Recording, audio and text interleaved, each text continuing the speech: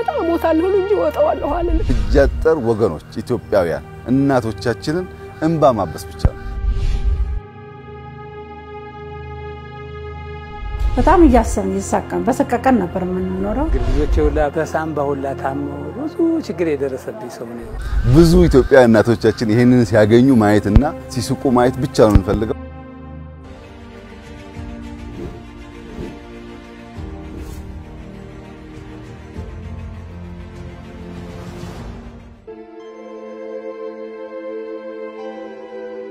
በርካታ የአዋሪ እናቶች በረጅም ዓመታት ታሪክ ውስጥ የሀገር መሪዎች የኖሩበትን የአራት ኪሎን ቤተ መንግስት ተጎራብተው ሕይወታቸውን ይገፋሉ። ከእነዚህም መካከል አንዷ ናቸው ወይዘሮ ጣይቱ።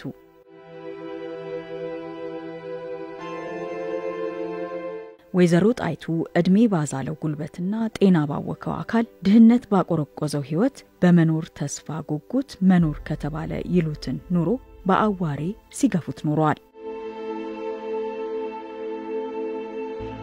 በዚህ ደሳሳ ክፍል ቤት ያፈራውን መና ተቋድሶ ለማደር ቤት ዕቃዎቻቸውና እሳቸው ጠባብ አልጋቸውን መጋራት ግድ ይላቸዋል። ይህም አለ የሚያሰኘው የወይዘሮ ጣይቱ የኑሮ መልክ በዚህ ዑደት ይመሻል፣ ይነጋል። በተለይም በወርሃ ክረምት ሰቆቃቸው ይበረታል።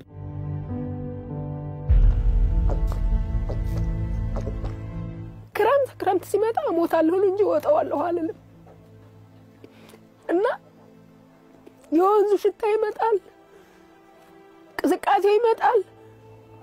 ሰው ሲተኛ እኔ ቁጭ ብዬ ስስል ነው ማድረው በቃ እና አንድ ቀን መንግስት አይቶኝ አንድ ቀን እንደ ሰው ሆኜ እንደ ሰው እግሬን ዘርግቼ አልተኛም። የእንትኑ ምንጭ ተስር ተስር ምንጭ አለው። ያ ምንጭ ማለት ነው ፍራሹ የመጨረሻ እዚህ ጋር ቦያ ያለ ሽንት ቤት ነው። በቃ ያለው ነገር በጣም ያስከፋሃል። እንደ ወይዘሮ ጣይቱ ሁሉ በነተበው የአዋሬ መንደር ለሚኖሩ አረጋውያን የወቅቶች መፈራረቅ ጭንቅ በችግር ላይ ችግር የሚደርብ መከራ ሆኖባቸው ቆይቷል።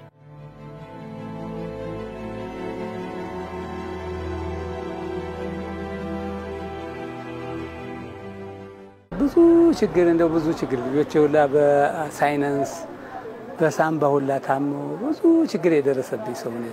የሽታው አሁኑ ክረምት ሲሆን ሽንት ቤቱ ሁላ ስለሚለቀቅበት ሽቶ እዚህ ነው የሚመጣ እኛ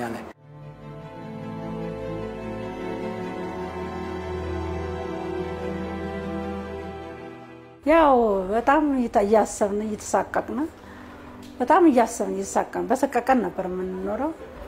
ጎርፉ በጣም ይሸታል። ማር ቤቱ ይነቃነቅ ነበር። ኩሽናው ሽንት ቤት መግባት አንችልም። ያስፈራ ነበር እና ምልህ ፈጣሪ ጋር እዚህ ደርሰናል። ይህ የአዋሬ ነዋሪዎች የዘመናት እውነት ለአጎራባቹ የአራት ኪሎ ቤተ መንግስት ሩቅ ሆኖ ቆይቷል። አዋሬ ለቤተ መንግስት በቅርብ ርቀት የሚገኝ ጎረቤት ሊባል የሚችል ሰፈር ቢሆንም ላለፉት በርካታ ዓመታት የመጨረሻ የደህንነት፣ የጉስቁልና፣ የችግር በጣም አሳዛኝ የሚባል የአኗኗር ዘዬ ያለበት አካባቢ ነው። አዋሬን ያልቀየረ መንግስት እመኑኝ ኢትዮጵያን አይቀይርም።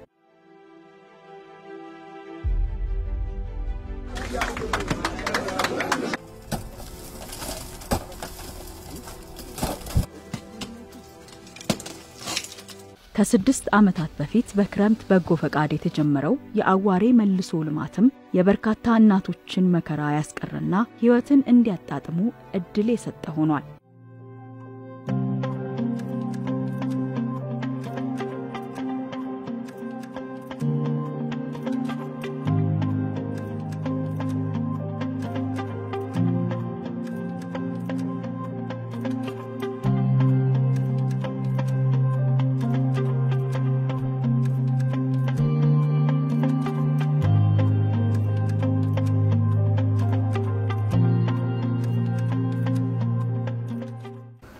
ሰፈራችን ምንም እንኳን በጣም ለቤተ መንግስት የቀረበ ቢሆንም የከባቢው የኑሮ ዘዬ ግን እጅግ አሳዛኝ ነበር። እዚህ ጋር እንደምታዩት ጭቃ ብቻ ሳይሆን ቆርቆሮ፣ ላስቲክ በጎርፍ ስር ተራራ ተንጠልጥሎ ያሉ ቤቶች በጣም ለኑሮ ምቹ ያልሆኑ ብቻ ሳይሆን ለሕይወት የሚያሰጉ የአኗኗር ዘዬ የሚከተል ከባቢ ነበር።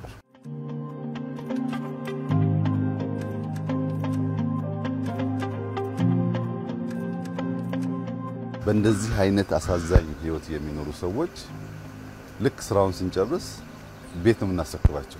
አንድም ብር አይከፍሉም፣ ንጹህ ቤት ይቀበላሉ። ይህ ማለት የኑሮ ደረጃቸው ትናንት ከነበረበት በጣም አስከፊ ሁኔታ overnight የተሻሻለ ነገር ያገኛሉ ማለት ነው። ቤት አንዱ index አንዱ መለኪያ ስለሆነ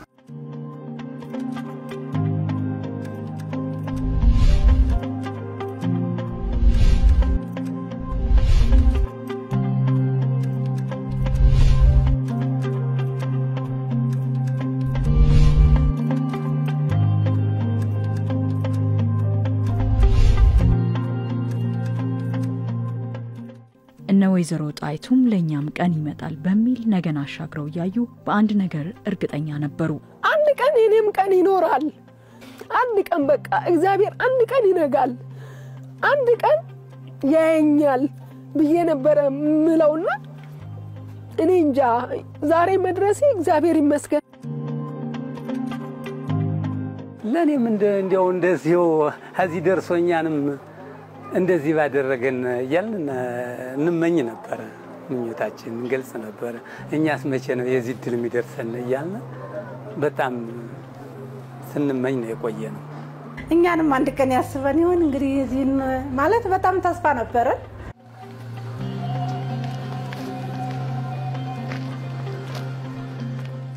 አዋሬ መስጠት፣ መለገስ፣ በጎነት ለእኛ ለኢትዮጵያውያን የአንድ ጊዜ ብቻ ሳይሆን የሰርክ ተግባር እንዲሆንም ለትውልዱ አብነት የሚሆን ታሪክ ተቀምጦበታል። እያንዳንዷ ቀን እድል ናት። እያንዳንዷን ቀን ተጠቅሞ የአንድ ሰው ሕይወት መቀየር አስፈላጊ ነው። ጉልበት ይኑረን፣ ጊዜ ይኑረን፣ ገንዘብ ይኑረን እንጂ በመስጠት ሌላን መባረክ፣ ሌላን ሕይወት መቀየር የሚሰለች ጉዳይ መሆን የለበትም። ባህል ነው መሆን ያለበት።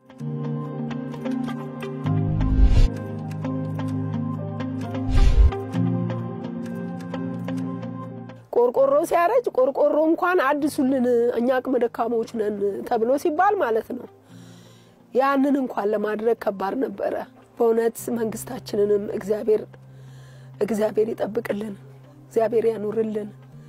ማንም እኔ በማንም ጊዜ ይህንን አላየሁም። በእውነት ለመናገር ከሆነ ማለት ነው በማንም መንግስት እስካሁን ይህንን አላየሁም። በጣም ደስተኛ ነን።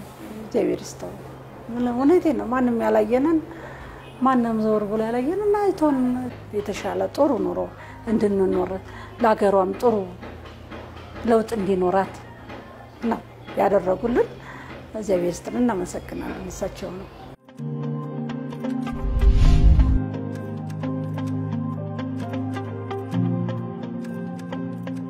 ዘር የለበት፣ ሃይማኖት የለበት፣ ጾታ የለበት። ዋናው እጅ አጠር ወገኖች ኢትዮጵያውያን እናቶቻችንን እንባ ማበስ ብቻ ነው። ሌላ ዓላማ የለውም። እዛ የሚወራው ወሬ የኛ አጀንዳ አለ። የኛ አጀንዳ ብዙ ኢትዮጵያውያን እናቶቻችን ይሄንን ሲያገኙ ማየትና ሲስቁ ማየት ብቻ ነው የምንፈልገው። ለዚህ ዓላማ ኢትዮጵያውያን አሁንም ሳትሰለቹ ሳታክቱ እንጀምር።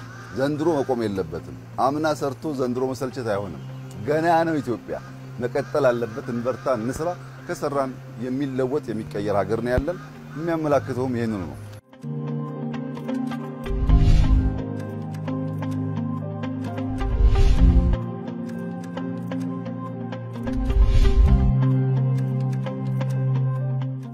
አዋሬ ቤት ብቻ ሳይሆን የበርካታ ዜጎችን መንፈስንም አድሷል። የአዋሬ አዲስ ገጽታም የነገዋ ኢትዮጵያ መልክ ነው።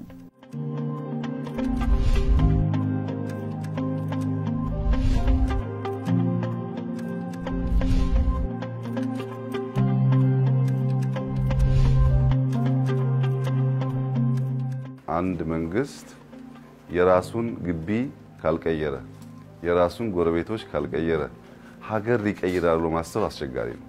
በቅርበት የሚያየውን ችግር በቅርበት የሚያየውን ጉስቁልና መቀየር ካልቻለ የማያየውን በርቀት ያለው ሊቀይር አይችልም።